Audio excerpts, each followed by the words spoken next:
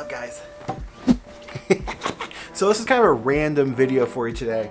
I don't talk about this often. I've only done a few videos in the past about it, but I love vinyl.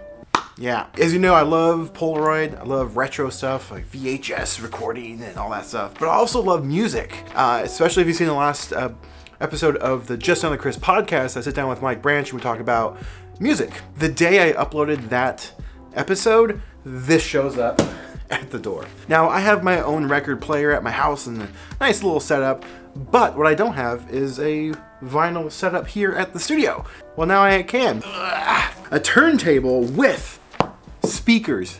yeah, this is made by 1byone. So let's uh, let's get it unboxed and set up and see if it's any good. Oh, real quick. So this was sent to me for review, but you know my thoughts are my own. I'm not being paid in any of that. And also worth noting, I'm not an audiophile. So if you're looking for a really detailed review of this thing, mm, I might go somewhere else. This is just kind of my thoughts and opinions of a little bit more than an average consumer. Let's get into it. You know the type of guy that was a jock in high school but ended up becoming a huge nerd? You know, someone that's not afraid to make a fool of themselves on the internet. And someone that likes to shoot Polaroid a little too much. Did I say huge nerd? You know, just an ordinary, everyday guy. Well, that's me. I'm just another Chris.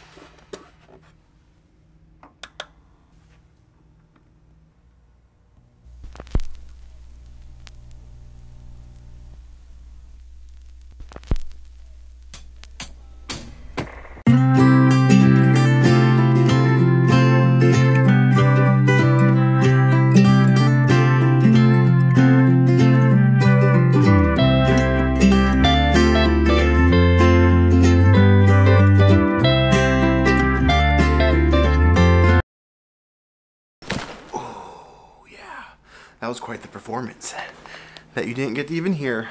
Stupid copyright. This is actually a pretty cool and actually really good sounding turntable. Now, is it the highest quality you can get on the market? No, absolutely not. Like I said before, I'm not an audiophile. a little bit more than maybe the average person, but even then. This is more of just, hey, does it sound good for the average person? Yeah, and it's super convenient because it has everything in the box ready to go.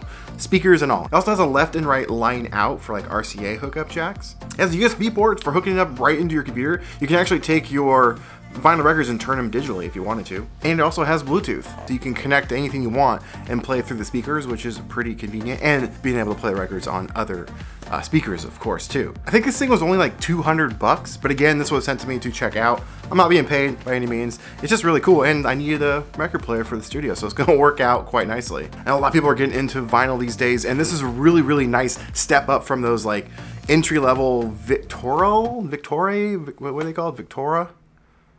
Victoria. They're about the same price on some of them, but some of them are even cheaper, and they're actually terrible.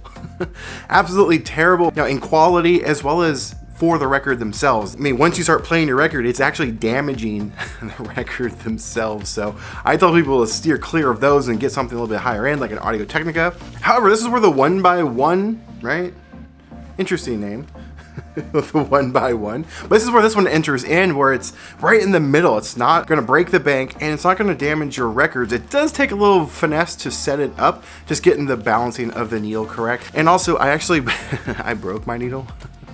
when I was taking it out of the box. So be careful uh, in that. So I, yeah, I had to replace it uh, to even finish off this video. But when you unbox this, be careful. But I think for the price, from what you get, this is a really, really nice system. I'm gonna leave a link in the description below if you wanna get one for yourself. I know this video seems probably a little bit out of left field a little bit, considering it's mostly a photography channel. But I like retro type stuff. You guys know that. Any long-time viewer knows I do a lot of retro-y type things on here. Heck, I've even reviewed a Zune yeah, back in the day. And plus, I just like sharing some of the cool things that come across my table and, and also some of my other interests, like music. I love vinyl. It's a really fun, tangible way to connect with the music. I mean, one of my favorite things to do is just shut off all my screens. I spend a lot of time in front of TVs, monitors, phones. I live in the digital world. It's really nice just to shut everything off, listen to some music on vinyl, and build some Lego.